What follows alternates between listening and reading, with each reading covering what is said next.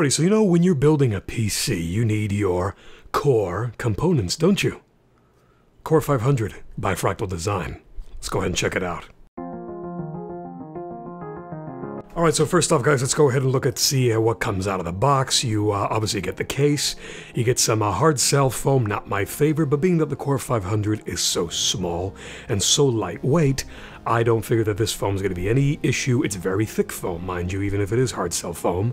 It's still you know, going to withstand most of the uh, handling through shipping. So yeah, you should be fine there. And then finally looking at the unit, you're going to see a uh, very common aesthetic here to their core series, which is this faux brush aluminum here. It's plastic, but it's got a, you know, faux brushed aluminum look. You do have an optical drive spot here if you choose to use that. Fractal Design logo. And then overall, it's just a black theme, black uh, finish, bit of a sheen to it. Nothing is overly glossy, so that's great to see. Uh, you have filters all over the place, uh, breathing rather vents.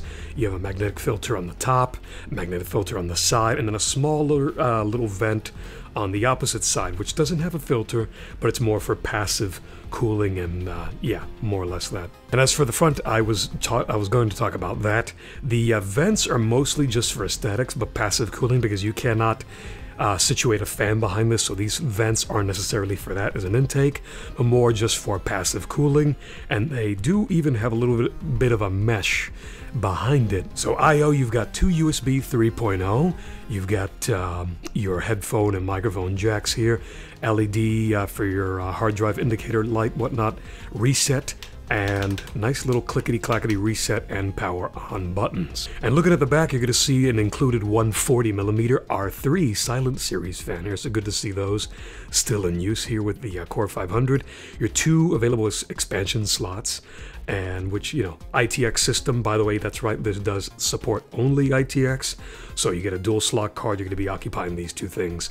Anyway, you have some uh, thumb screws, which are easily uh, removable. They have washers on them, which apply a little bit of pressure, so might be a little bit difficult at first to remove them, but they come out just fine. Here you can see your uh, power plug, which is working like a pass-through because it's got a uh, cord that goes to the front, since the power supply is actually going to be in the front area of the case, and you'll see that once we get inside.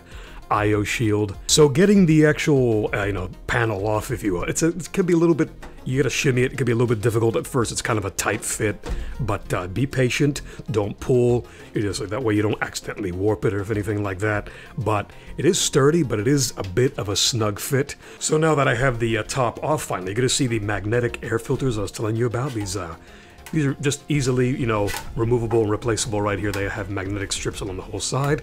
That is to say the housing of the case is steel. It's not aluminum or you wouldn't be having this.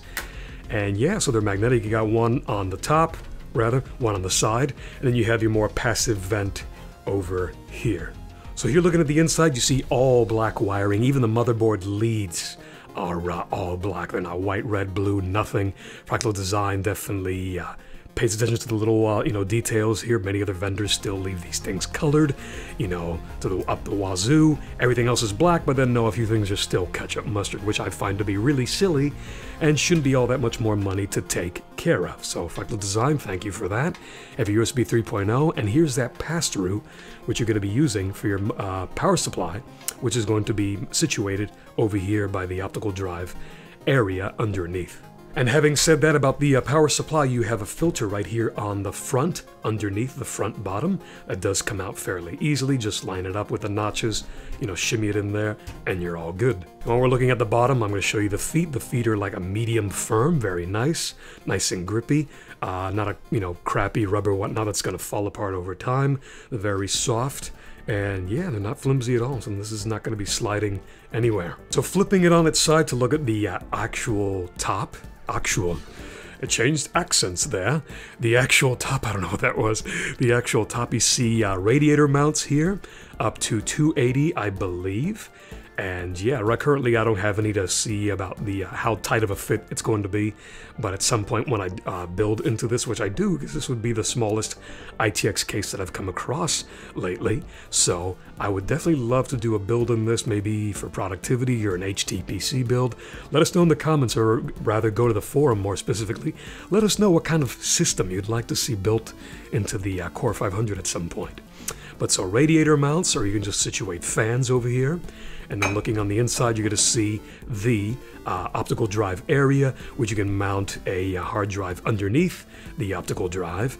Uh, if you choose to uh, opt out for the optical drive, just leave that empty, put an extra 3.5 inch drive in there. Turning it around to its side, guys, you see some extra mounts over here on its side for 2.5 inch drives, whether they be, uh, you know, little laptop drives or SSDs. And then on the inner side, the uh, opposite side of this specific little panel right here, you have mounts for three and a half inch uh, mechanical. So you can have two mechanical on the inner side of this panel and two SSDs right here. So correction, two SSDs, three mechanical, that would be the one under the optical drive area in the same little bay area there. So two SSDs, two mechanical on the opposite side of this little panel, one more mechanical down there, and then on the front, if we pop open the front here, there we go, finally got it removed. You have another SSD mount right here. Now I've seen some people complain that when you route the power cable up through the top here, that you won't be able to put a, a uh, optical disk drive if you want. Well, clearly, you're going to want to put the uh, SSD here and route your power and SATA down to this hole down here. That would make a lot more sense, and you have plenty of room between the front panel and this to, uh, you know, shimmy your cables in there. Nothing should be too squished. The only problem I can see is the power, SATA power cable being a little bit of an issue because it's so flush here with the metal, but you should be all right. Just uh, be patient, route it over here to this corner, and you'll be good. So yeah, guys, that's pretty much it. I mean, Fractal Design is known for their minimalistic design, simple, you know, curves, lines, pretty lines, and just overall aesthetic is, you know, nothing overpowering, but nothing too dull either. We have a nice finish here on this case. Clear mirrors image of the, uh, you know, core design, the core SKU, the core models of cases and chassis that they provide. It's got that same look. Uh, a friend of mine that I built his system into a Core 3500. It's essentially the same front, but that's not to say that it's just a, a repeat. No, it's good to see the same constant clean lines, good, you know, black overall aesthetic, now in a smaller chassis for whether you want an HTPC, you want to build a storage server, and it's going to have a small footprint. Whether you want to put this under your desk or on your desk, uh, you know, you would have so much more room to, to uh, put other stuff um, uh, in your work area, whatever you may want to do.